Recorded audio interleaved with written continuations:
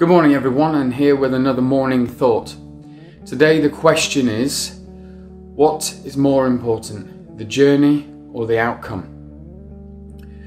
We have a tendency to look at the outcome as the, the main thing and forget the journey that we go through. But I want you just to sit back and think which one do you emphasize more?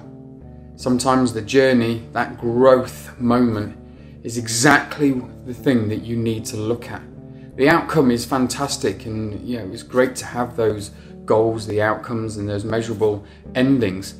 But what about the transformation that you your team your children are making because of the journey that you're taking? So just reflect on that. Let me know in the comments what your thoughts are and maybe just give it a bit of a, an understanding and a story about your journey and your outcomes and how you feel about it